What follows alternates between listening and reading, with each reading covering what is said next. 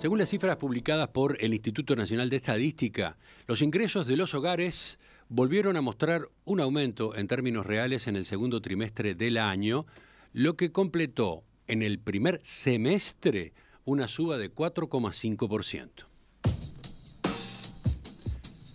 A partir de este dato vamos a repasar en los próximos minutos la evolución de los ingresos de los hogares, sus diferencias por zonas geográficas y los factores que vienen explicando este aumento reciente. Para eso estamos con la economista Delfina Matos de Exante. Delfina, ¿qué tal? Buen día, ¿cómo estás? Buen día, Emiliana Romina. ¿Todo bien ustedes? Muy bien. Delfina, si te parece, empecemos comentando el dato más reciente de ingreso de los hogares. ¿De qué magnitud fue la suba en el segundo trimestre? Sí, claro. Y bueno, según las cifras de, del INE, en el periodo abril-junio, el ingreso promedio de los hogares, medido en términos reales, aumentó casi 3% respecto al segundo trimestre del año pasado. El incremento fue bastante similar en Montevideo y, en el interior del país, a diferencia de lo que habíamos visto en el primer trimestre del año, cuando la suba en la capital fue muy superior a la del resto del país en, conjunto. Concretamente, en el segundo trimestre, los ingresos medios de los hogares aumentaron 3,5% real en Montevideo y algo más de 2% en el interior. Bien.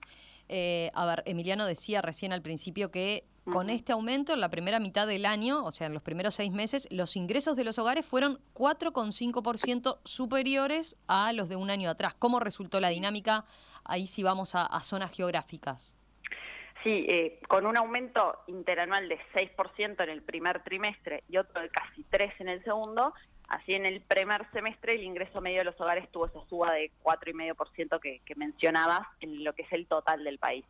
El incremento fue de mayor magnitud en, Montevideo, de 6%, sobre todo por la suba registrada en enero-marzo, que, que como dije antes fue muy superior a la vista en el interior.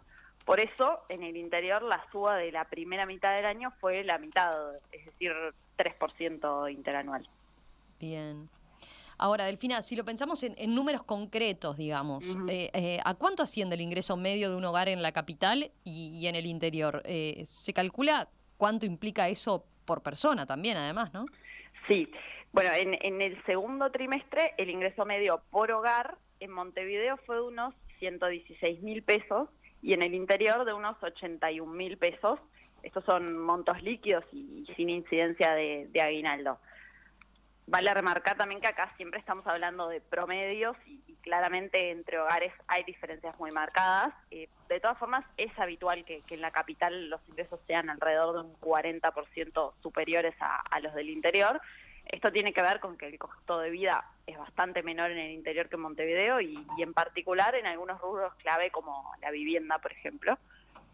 Y en cuanto a tu segunda pregunta, el INE publica sí el ingreso medio per cápita sobre la base de que un hogar promedio está compuesto por una cantidad de personas de entre dos y medio y tres, algo más alta en, hogares del interior que, que, Montevideo. Así, el ingreso medio per cápita en, el segundo trimestre fue de unos 43 mil pesos en Montevideo y de casi 28 mil pesos en el interior. Bien, está claro porque es bien gráfico cuando, cuando se ven los números así. Eh, pasemos ahora, si te parece, a las explicaciones detrás de la evolución de los ingresos de las familias. Eh, por ejemplo, otras veces hemos comentado que el salario y el empleo son determinantes clave, ¿verdad? Eh, ¿Podemos repasar la, evolución de estas variables en, los últimos meses, te parece? Sí, sí, así es porque los, ingresos de los hogares tienen diversas fuentes, como ingresos patronales y, de cuenta propistas o, pasividades, pero la fuente principal es sin dudas la, la salarial. Según datos de 2023, los salarios representan cerca de un 70% de los ingresos de un hogar promedio, las pasividades un 15% y, y luego otras fuentes tienen pesos bastante menores. Por eso, dada la importancia relativa de, los ingresos asociados al trabajo, la evolución del empleo y, de los salarios son clave en, el comportamiento del ingreso medio de los hogares en general. Y además, las pasividades también se ajustan, aunque con rezago, en, función de la evolución de los salarios. En ese sentido, en el primer semestre, el impulso fundamental del ingreso de los hogares está viniendo del lado de los salarios, con un salario real promedio que subió casi 4% interanual. Al mismo tiempo, el empleo se mantuvo firme en, lo que va del año, El dinamismo se ha moderado respecto al año pasado, pero hubo aumentos tanto en la tasa de actividad como en la tasa de empleo, resultando en una suba de poco más de un por ciento de la cantidad de ocupados en lo que va del año. Bien, eh, Delfina, a ver, en, ese contexto, ¿qué podemos esperar para los próximos meses?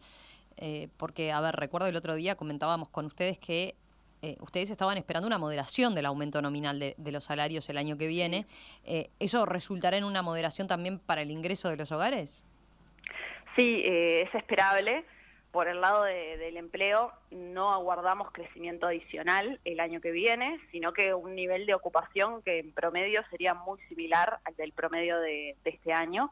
Y para el salario, como decías, aguardamos una moderación de, la dinámica nominal, que en términos reales implicaría un aumento de menos de un por ciento en el promedio del año que viene, después de uno de casi 3% en el promedio de este año. Por lo tanto, esperamos que los ingresos de los hogares tengan aumentos muy moderados hacia adelante. De todas maneras, es justo advertir que los niveles actuales de ingresos en términos reales son altos en, una perspectiva histórica. Bien. Delfina, ya para cerrar, eh, ¿qué implica ese, ese escenario de ingresos para, para el consumo? ¿Cómo esperan en Exante que evolucione el consumo de los hogares en los próximos meses? Bueno, después de un cierre de 2023 y, inicio de, este año de desempeño pobre del consumo de los hogares, aguardamos algo más de dinamismo este año. Las cifras de cuentas nacionales mostraron un muy bajo crecimiento del consumo privado en el primer trimestre, pero contemplando este escenario de empleo y salario real que veníamos comentando, tendemos a pensar que el resto del año debería ser más positivo. Todavía no tenemos datos oficiales para el segundo trimestre, pero en Exante seguimos varios indicadores que, nos ayudan a tener una señal adelantada, aunque parcial, de, la evolución del consumo en estos últimos meses. Y varios de estos indicadores apuntan a algo más de dinamismo, por ejemplo, las ventas de, bienes durables como los automóviles, electrodomésticos, muebles, se mantienen en niveles muy altos, favorecidas por un dólar bajo, y a su vez en varios rubros no durables que, venían mostrando un desempeño mucho menos positivo, se observan señales de repunte. Acá probablemente está incidiendo también la mejora de precios relativos con Argentina, que, se procesó este año. Lo vemos, por ejemplo, en, las importaciones de alimentos y bebidas y de productos de tocador, que fueron de los rubros más afectados por el desvío de, consumo al, exterior en los últimos años. Y bueno, y para el año que viene en el escenario que comentábamos antes de, relativa estabilidad del empleo y, de suba más moderada del salario real, es esperable que el consumo de los hogares crezca a un ritmo menor, aunque acumulando una suba en, el promedio del año. Delfina, gracias, gracias por este análisis sobre el, salario real, sobre el empleo y bueno, y cómo, cómo evolucionó el ingreso de los hogares eh, en este contexto. Volvemos a conversar con ustedes en los próximos días, ¿te parece? Perfecto. Muchas gracias a ustedes. Chao, chao.